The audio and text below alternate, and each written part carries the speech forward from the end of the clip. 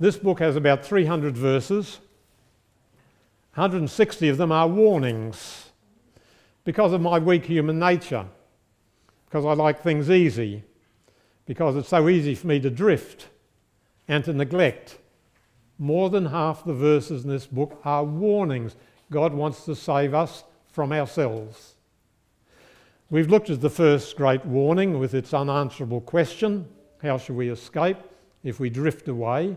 I want you to look at the second, and we're going to look at chapter 3 and verses 7 to 13. Hebrews 3 7 to 13 gives us the second great warning in the book of Hebrews, chapter 3.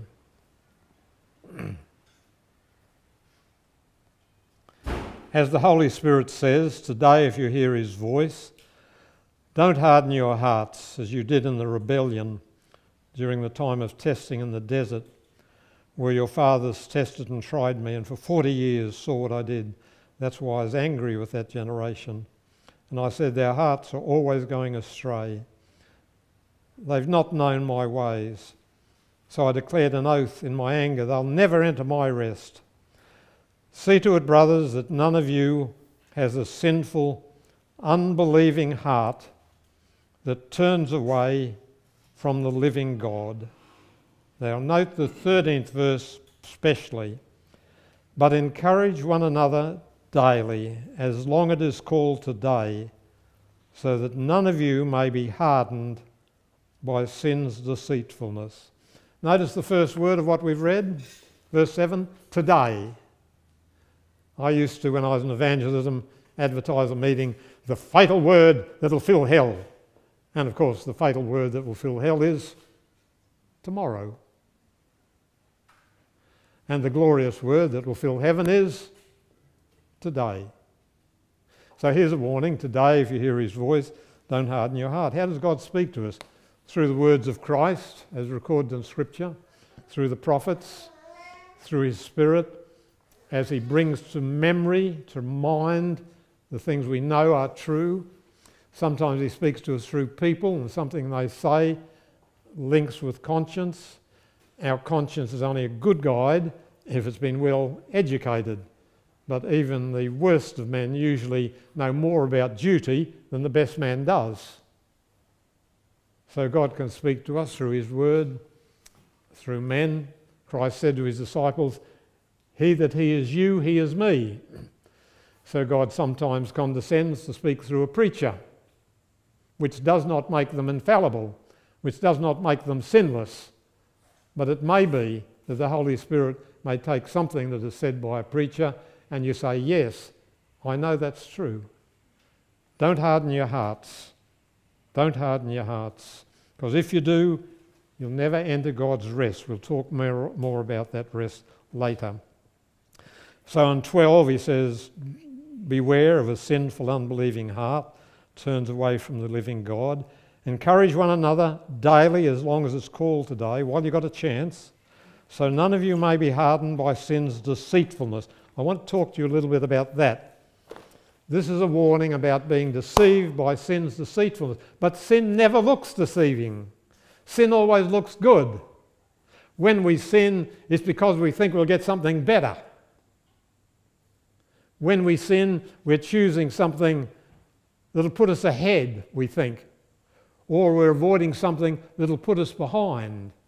Now, people question Genesis 3 whether it's true, the story of the first sin. Let me tell you, it's true at its deepest level. No psychiatrist, psychologist, scientist in the world could give us a better description of the course of sin and its folly than we have in chapter 3. Remember, the devil comes beautifully attired, not slithering on the ground, and he can speak. He says, Yea, as God said. In other words, what I'm going to suggest to you, there's nothing wrong with it. The first thing that sin comes to us is a lie saying, Don't believe that this is unlawful. It's quite okay. Sin lies about its unlawfulness. It says to us, oh, has God said? No, no, no. The second thing is sin deceives us by promising advantages that are not real and are not true. You'll be as gods. Instead, they became human and dying and subject to passion and pride and to everlasting loss. So, the second lie in the deceitfulness of sin, it lies about what sin will give. You see, when you have sin, you have to ask yourself these questions Was it as good as I expected? Am I a lot better off now? Has it satisfied all of me?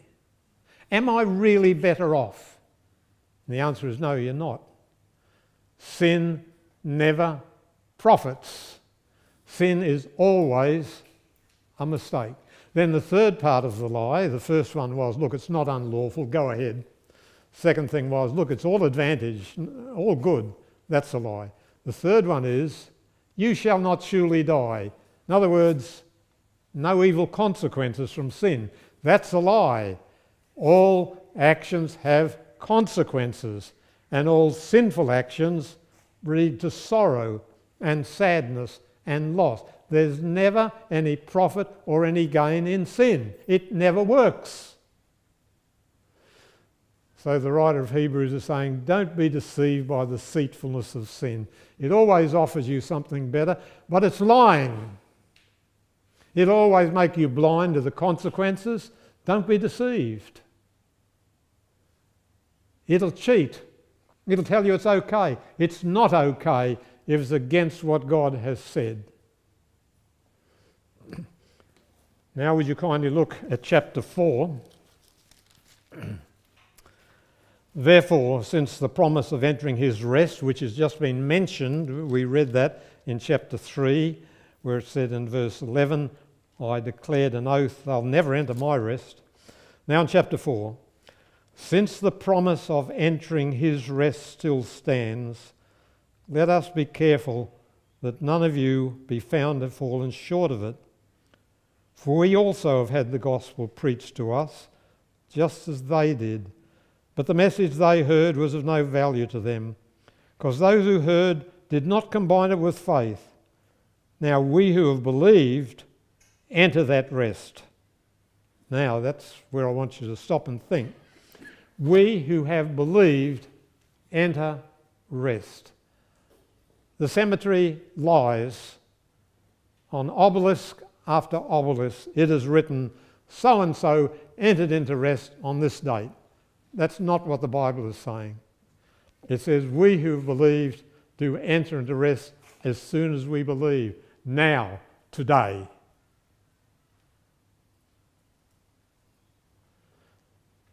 The main reason for our restlessness is not the pelting of pitiful change and sorrow and pain. The main reason for our restlessness is not outward calamity at all. The main reason for our lack of rest is that we do not have a surrendered will. Here's a bird newly put into a cage. It doesn't like being in a cage. It bangs itself against the wires. It bruises itself. It may even bleed. Then it cowers in a corner. If instead it said, Well, I'm safe here from all my enemies and I'm going to be fed, I don't have to go around looking for food, this is glorious. It could sing. But as soon as it resists, it bruises itself. My friends, when we say yes to God, it brings repose because repose brings submission. May I say it again? Not outward calamities bring us restlessness, but the fact we do not have a surrendered will. That's what brings us restlessness. As soon as we say, God, if you do it, it's okay, and I'll sit back and accept it, we can sing. Like Silas and Paul in prison, bleeding from being whipped. They sing, and there's a great earthquake, and their chains go off, and they're free. And they win the jailer. Repose comes from believing. The believing in the New Testament means trust. Trust brings reliance, whether it's between husband and wife, mother and child. Here's a little child. Mother's hovering over it lovingly, and the child goes asleep. Not only because it's ignorant, does it rest, but because it trusts. All reliance brings rest. When we rely on God, He will give us rest. But so long as we rebel against His providences, we will never have rest. Submission can take pain out of loss and crosses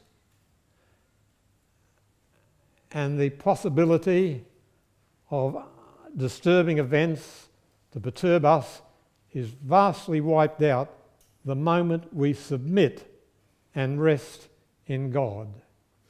If I give you the name Princess Elizabeth, you will think of the present Queen when she was a young girl. Remember her? Very pretty, very lovely young lady. But I want to tell you about another Princess Elizabeth, the daughter of Charles I. Well, he was a bit of a scoundrel. But some bad fathers have good daughters, I know. and this Princess Elizabeth, daughter of Charles I, had had a terrible interview with the father before he was, I think, beheaded. She's a Protestant. She's a believer. She is beautiful in spirit, but she's overwhelmed with sorrow for a while.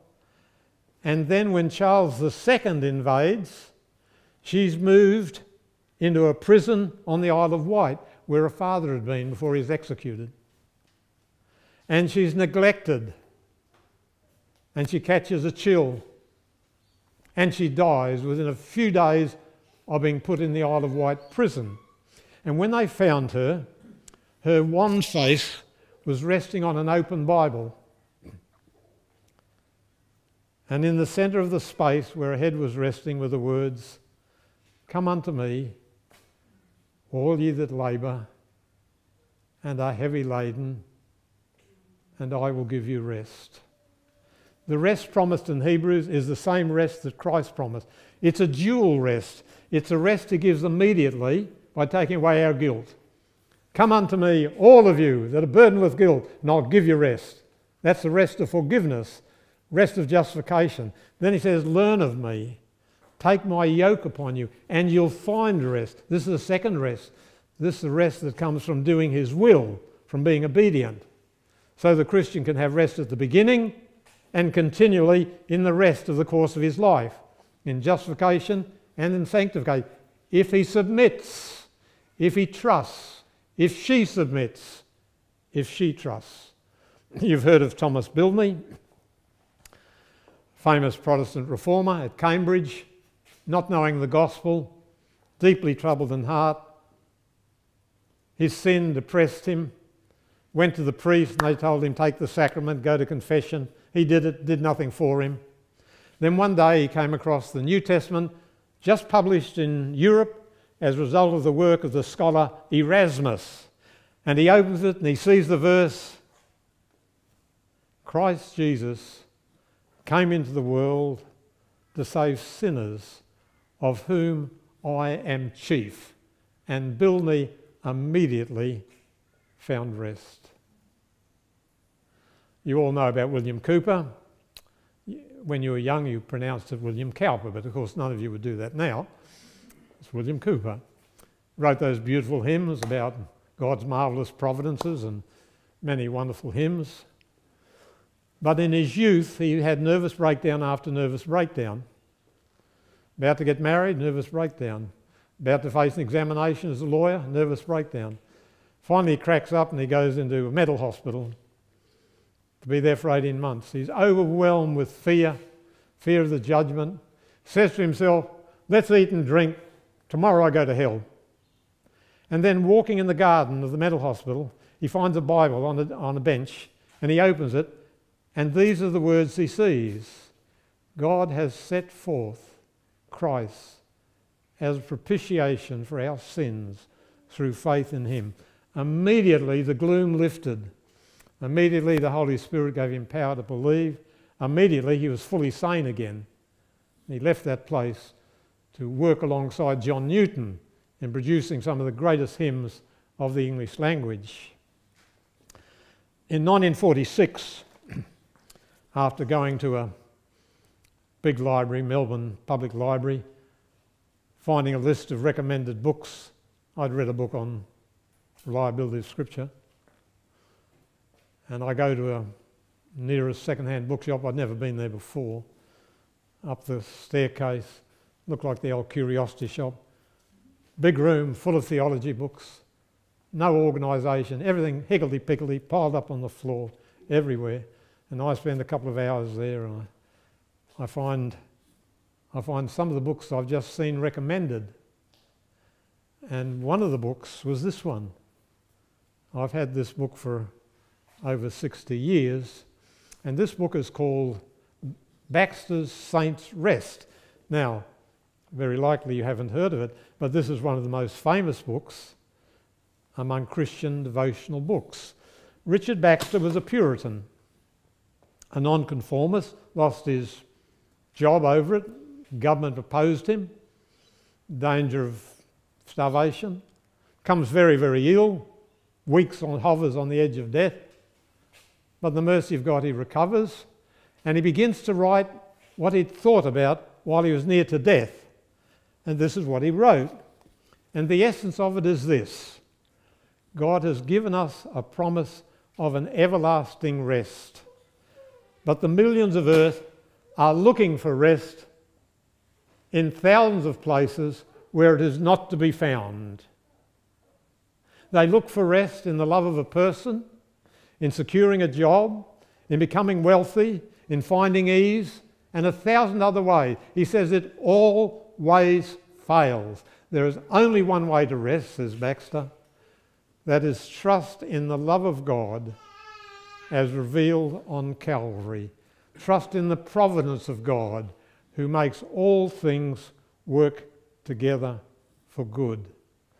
Augustine, centuries before, in his Confessions, wrote this, these words God, you made us for yourself, but we are restless until we find rest in thee. We are restless till we find rest in thee.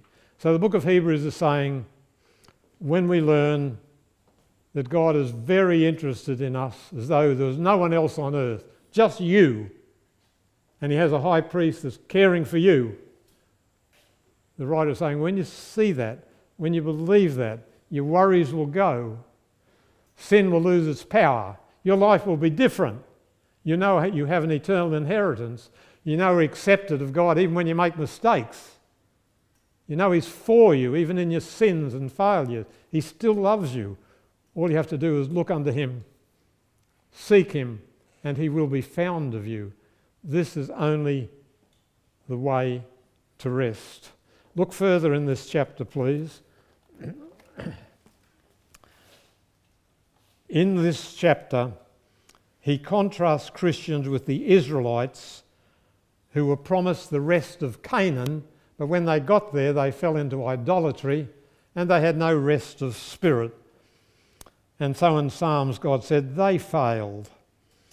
But in the same Psalm 95, he had these words today, if you'll hear his voice, don't harden your hearts. And then it goes on to say, verse 8, if Joshua had given them rest, God wouldn't have spoken about another day. By the way, when you read a Greek Testament, it says, if Jesus had given, you, given them rest. Name Joshua is the Hebrew form of Jesus. There are three Joshuas in the Bible the Joshua who led the people into Canaan, the promised land, the Joshua who rebuilt, helped rebuild the temple, and the Joshua, Jesus, who was born in Bethlehem. And in this part of Hebrews, the writer is saying, look, that first Joshua, who was a type of Jesus, because Moses couldn't take them in because he represented the law. You can never get in by the law. Joshua was a type of Jesus. He led them into the promised land. But they didn't enter into my rest because they fell into idolatry. So he's saying, look, Jesus is better than the prophets, first chapter, better than the angels, also in chapter 1, better than Moses, now better than Joshua. Soon you'll come and say he's better than Aaron. But look at the ninth verse. There remains then a Sabbath rest for the people of God, for anyone who enters God's rest also rests from his own work, just as God did from his. Let us therefore make every effort to enter that rest, so no one will fail by following the example of disobedience. This has great heights and depths, impossible to scale them, impossible to empty them. He's saying, look, remember, God worked, then he rested. He's saying, look, when you come to Christ, you give up trying to work for your salvation. Just as God rested after six days of creation and entered into a period of rest, this is the symbolic language of Genesis 1. He's saying, so you, it's your privilege to give up depending on your activities. Give it up and enter God's rest. Then something else he's saying.